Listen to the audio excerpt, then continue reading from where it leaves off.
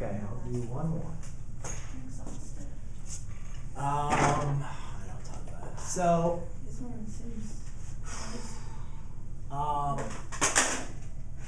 looking at this problem, I need to kind of determine which one's really going to be my most complicated side. Where am I going to want to start?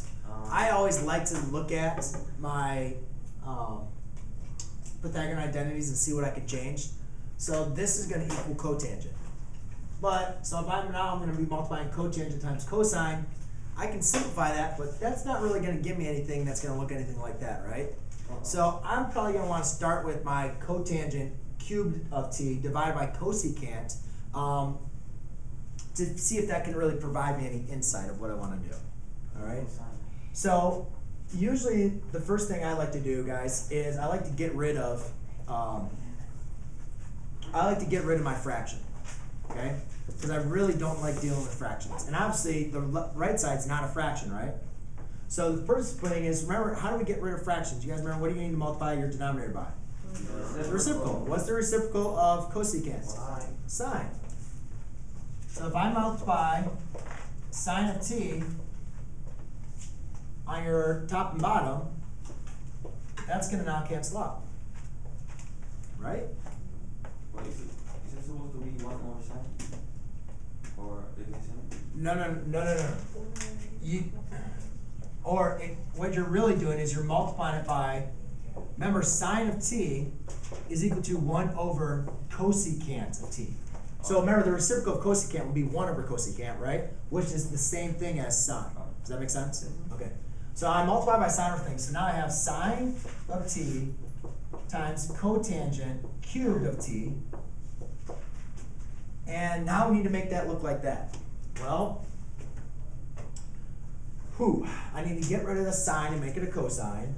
And I need to get cotangent to equal cosecant.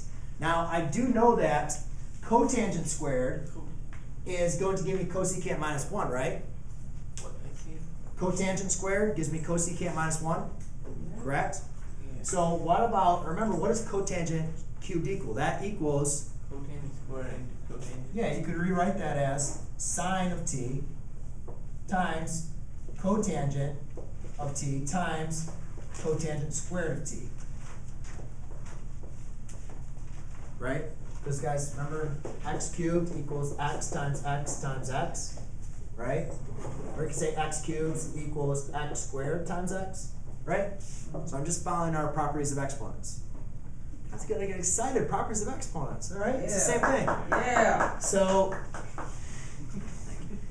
so here, cotangent, I can rewrite that as cosecant squared of t minus 1. So I'll write sine of t times cotangent of t times cosecant squared of t minus 1. Again, that's what cotangent squared of t equals, using my Pythagorean identity. So now I need to get rid of this sine. How do I get rid of the sine? Well, I don't really know. I'm going to try to maybe transform my cotangent and see if I can cancel them out, right? Because when you can't cancel them out, convert to sines and cosines. Cosine over sine, sine and sine cross out. So what I get is sine of t times cosine of t over sine of t times cosecant squared of t minus 1. The sines cancel out. Cosine of t times cosecant squared t minus 1. It's a lot of steps, isn't it? But guys, it's just about practicing trying things, all right? I don't expect you guys all like quickly, you know, jump this other way. It's just about trying different things and kind of looking on the outside end to be able to see what you can solve it for, okay?